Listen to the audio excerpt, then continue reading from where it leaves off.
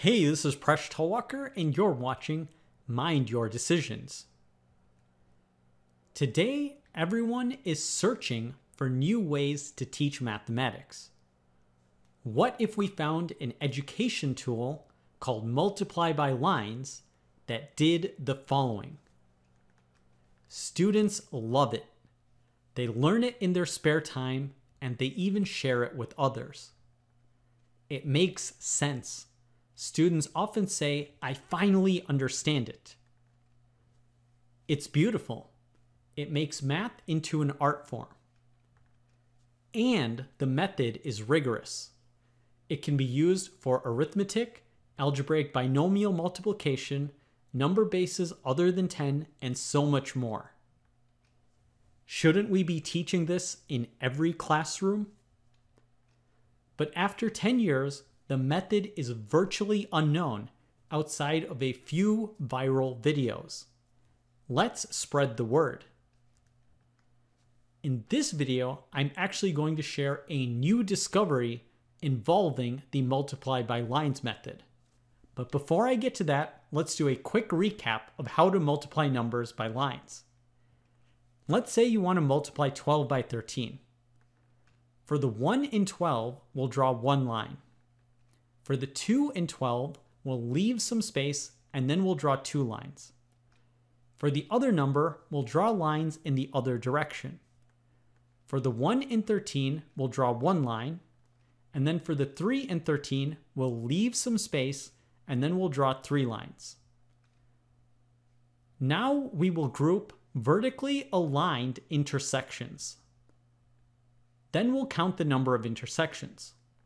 On the far right, there are a total of six intersections. In the middle, we can count there are five intersections, and on the far left, there is one intersection.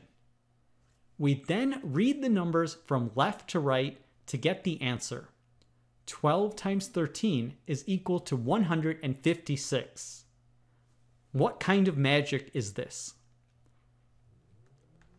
In 2007, this visual method to multiply numbers took the internet by storm, bringing joy to millions. Now it is 2018. For over 10 years, everyone missed a mind blowing discovery about this method. Using group theory, we can supercharge this diagram and solve even more problems. So, what exactly is group theory? According to Keith Conrad, a mathematician at the University of Connecticut, broadly speaking, group theory is the study of symmetry. What's it good for? Well, here are a few applications.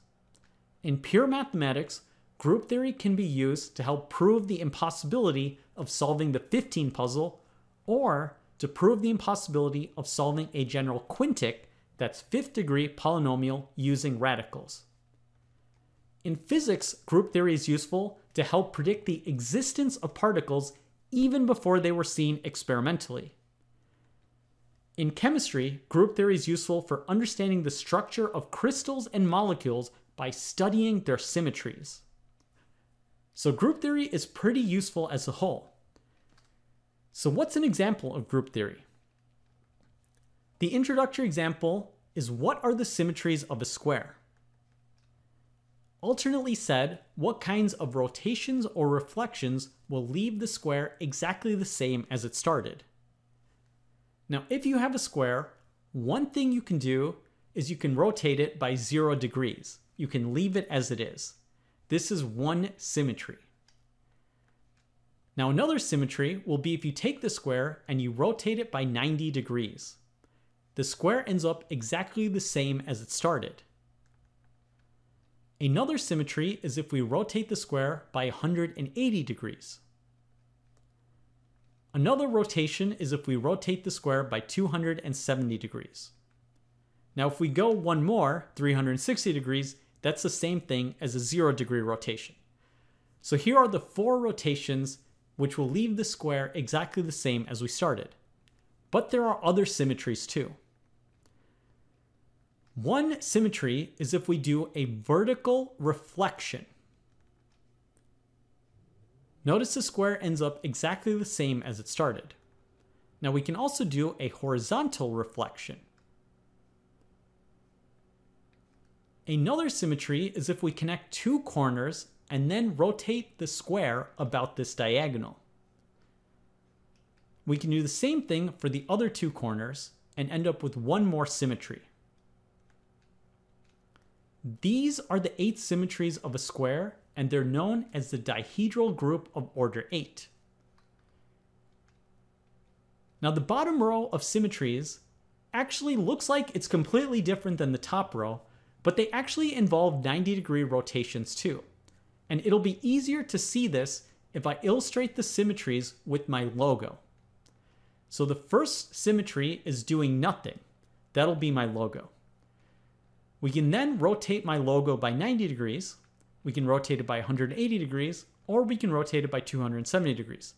Now let's go to the bottom row and do the same reflections to my logo. What do we end up with? Well, if you take a look at these diagrams, you'll notice that there are actually hidden rotations in them. In particular, if we rearrange the diagrams as follows, you'll see that the bottom row, the four squares, are all rotations of each other, just like in the top row. So this will give us another way to present these symmetries, which will be useful. We can express everything in terms of a single 90 degree rotation, we'll call that R, and a vertical flip, which we'll call S. So the top row, we start out by having a 90 degree rotation being labeled R.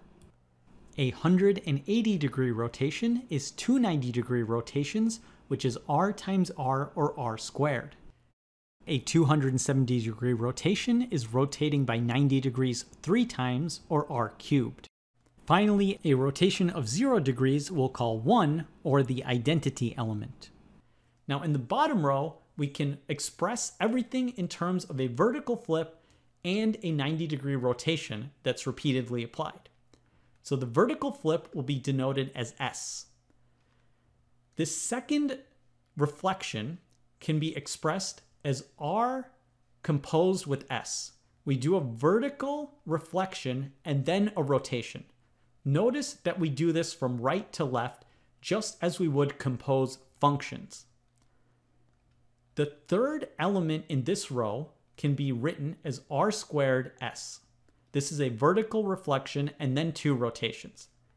The final diagram is r cubed s. This is a vertical reflection and then three rotations.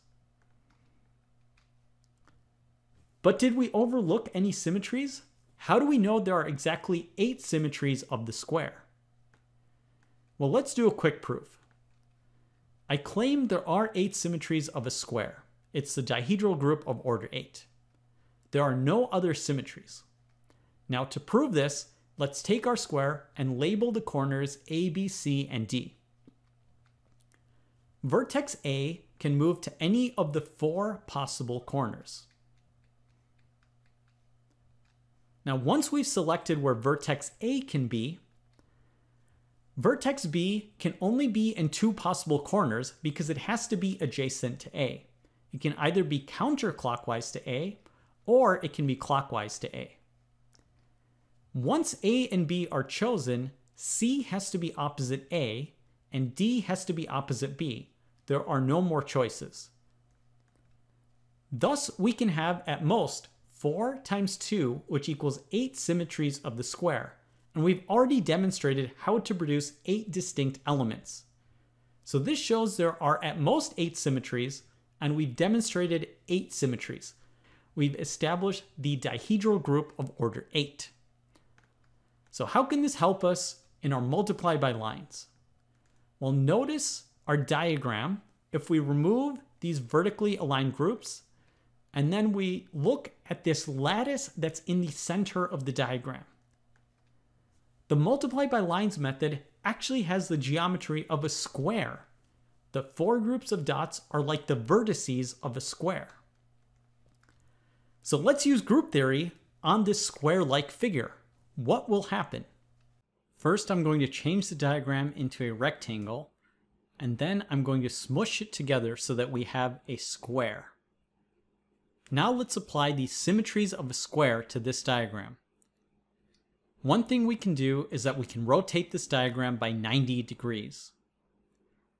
What do we end up with? Well, let's examine this diagram. Here we have one line, followed by three lines. This will be the number 13. In the other direction, we have two lines followed by one line. This will be the number 21. Now we can count the intersections to get the answer to 13 times 21. Here we have two intersections, here we have seven intersections, and here we have three. So 13 times 21 is equal to 273. Rotating this diagram by 90 degrees solved an entirely new mathematical problem. Incredible. In fact, what happens if we do another rotation? Let's rotate it so it's 180 degrees from the original.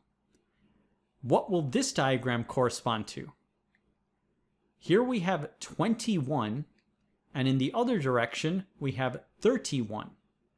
So this diagram is 21 times 31. We can again count the intersections to get the answer to this problem, and we get 651. We've solved another problem, so let's go ahead and do another rotation. We now have another diagram. This will correspond to 31 multiplied by 12. What's the answer to this problem? Well, we'll count these intersections and we end up with 372. One more rotation will bring us back to the start. But now we can use the other symmetries, so let's do a vertical flip of this diagram.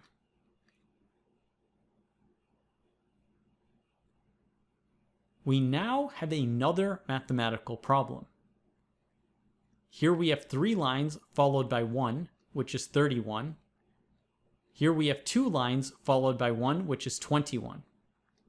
So we have 31 times 21. You'll notice these digits are exactly the mirror image of the original problem. The digits are in exact reverse order of 12 times 13. And in fact, the answer will also be a mirror image. Instead of 156, we get 651. Now we can continue finding the symmetries by doing a rotation.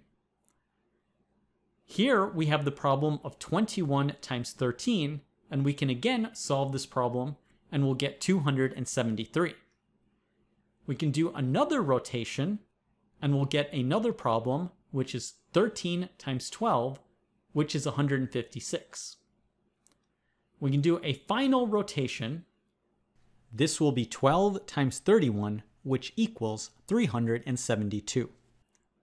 One more rotation will bring us back to where we started. So let's recap what we've just solved. We start out with the symmetries of a square using group theory, and we apply these to multiply by lines group theory. We start out with the diagram, then we can rotate it 90 degrees to get another problem. We can rotate it 180 degrees to get another problem. We can also rotate it by 270 degrees to get another problem. We can also reflect this diagram vertically, and then we can do rotations of this reflection. So we end up with these potential diagrams.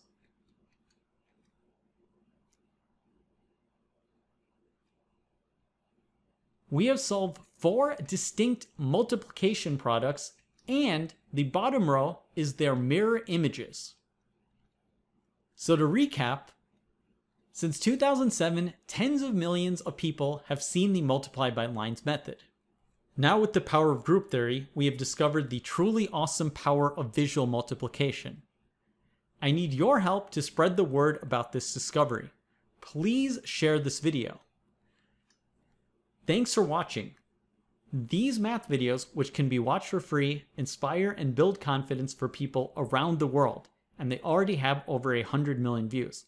Let's share the beauty of mathematics. With your help, we can math the world a better place. Please subscribe for free to get the newest videos, watch and share all of Mind Your Decisions videos, email me a puzzle or math topic, presh at mindyourdecisions.com.